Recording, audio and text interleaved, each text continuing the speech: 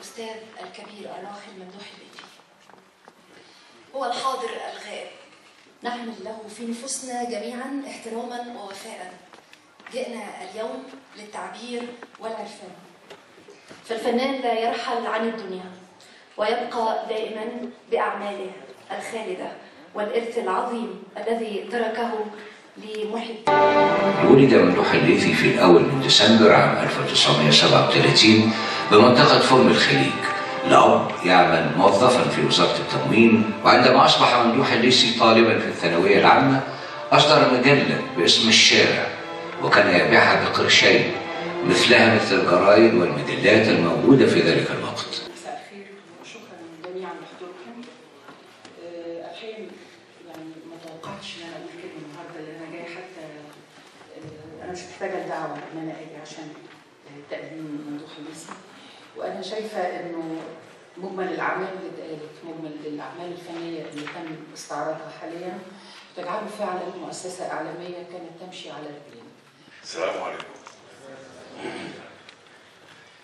الحقيقة ممدوح الليث ده كان آه، تجربة إنسانية كاملة على بعضيها.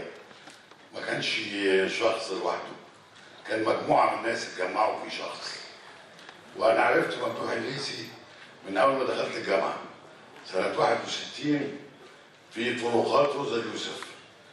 كنت أروح أزور أخويا رحمة الله عليه الأستاذ محمود السعداني. وقابلني راجل ضابط يزباشي ويسمونه نقيب يوميها كان يعمل واحدة بين مصر وسوريا. فالتقيت بالنقيب ممدوح الليثي وفضلت علاقتي بيه لغاية ما بقى نقيب النقباء بتوع الفنانين كلهم. وكانت علاقة خاصة جدا و... و... ومتوسعة جدا. وأنا من الناس اللي شهدوا على جوازه يوم جوازه وأنا وعادل امام وكان شايلها لي الحكاية دي على طول. يقول لي أنت اللي دبستني سيبك يا عمرو من الكلام ده. الله يرحمه. وبعدين في العشر سنوات الاخرانيه دي كنت تقريبا ما فيش آه، آه، جنازة أو عزاء بنروحه إلا وممدوح الليثي آه، متسيد الموقف. يعني كان راجل مجامل وكان بني آدم عنده عشق حقيقي للناس. مساء الخير. أنا مش محضرة حاجة لكن لكن هقول إن الاستاذ ممدوح كان إنسان قوي وكان صاحب قرار وكان يعني لو أنا ليا أي طلب في خلال شغلي أو في أو أي حاجة أنا محتاجاها وهو بيشوف إن طلبي ده مش دلع يعني طلبي ده بجد. هتلاقيه أخذ القرار في ثانية وعملها. وإدى الـ okay ما انساش في في الهجان وفي وفي بداية حياتي الحقيقة. آه، أستاذ عمرو كان معانا مساعد أفتكر. وأستاذ عمرو ابتدى معانا من الصفر برضه. يعني ما ابتداش عشان ابن ممدوح الليثي لا تعب وشقي عشان يبقى الدكتور عمرو الليثي ممدوح الليثي لم يعد يرى مصر. لم يعد يرى مصر التي عمل من اجلها حقيقة تربطني الأستاذ ممدوح الليثي. المكان الولادة والمدرسة الثانوية الإبراهيمية الثانوية. لم نجتمع سويا خدت بعديها ولكن ما جمعني الاستاذ ممدوح الليثي إن أنا كنت بقدم عرض هاملت سنة 75 في أكاديمية الفنون ومحتاج 30 جنيه هذه الليلة عشان غدا العرض ومعيش 30 جنيه عشان أجيب ملابس. يا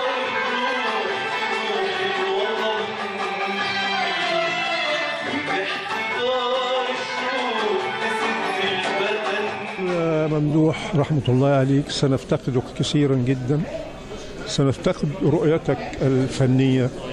سنفتقد إدارتك في قطاع الإنتاج ومدينة الإنتاج الإعلامي آه، سنفتقدك كصديق وأخ عزيز. آه، يعني أنا بالذات يعني آه، عمر طويل في الصداقة. كتير يعني. بنرحب بالفنان أحمد شاكر معانا في أخبار اليوم. أهلا بيكي وأنا سعيد إن أنا معاكم النهارده وسعيد إن أنا في في يوم حفل تأبين الكاتب الكبير ممدوح الليثي. النهارده وإحنا بنحتفل بحفل تأبين الكاتب الراحل ممدوح الليثي آه، النهارده آه، أنا إحساسي بالأستاذ ممدوح آه، إنه هرم فني أضاف لمصر كتير وخدم مصر في مجالات كتير يمكن الناس تعرفه أكتر من الدراما التلفزيونية من وقت توليه رئاسة قطاع الإنتاج بس آه، إحنا كفنانين نعرفه أكتر من من من كل إسهاماته سواء في النقابات الفنية سواء في في الدراما التلفزيونية اللي خلى مصر من أهم آه، القوى الناعمة في الشرق الأوسط من خلال الدراما التلفزيونية الخاصة بيها. في وقت كانت السينما يعني وقت ما ابتدى الأستاذ ممدوح كانت السينما بتميل لتقديم اللون اللي قايم على الترفيه أكتر أو الأفلام اللي هي موضة السبعينات زي ما بنقول. كان هو ساعتها حط في, في, في ذهنه إنه يعمل اتجاه تاني خالص مغاير ودي نظرية ذكية جدا جدا وهي البوزيشننج إن حتى في فكرة الاقتصاد والعرض والطلب العالمية يعني أحدث الأفكار اللي في 2014 النهارده بتقول إن أنا إزاي أعمل شيء مغاير وشيء مغاير مهم وإزاي أحط الفن المصري آه، في قيمة كبيرة جدا جدا. فإحنا شاهدنا ده معاه ولمسناه آه، صراحة ما كنتش مصدق إن الكوكبة دي كلها هتحضر بعتنا الدعوات والاتحاد العام للنقابات الفنية حرص على إنه المكان اللي تواجد فيه ممدوح الليثي في قيادته ال- اللي سبقني مباشرة حرص المكان كله إن إحنا نحتفل يوم ونكرم ممدوح الليثي.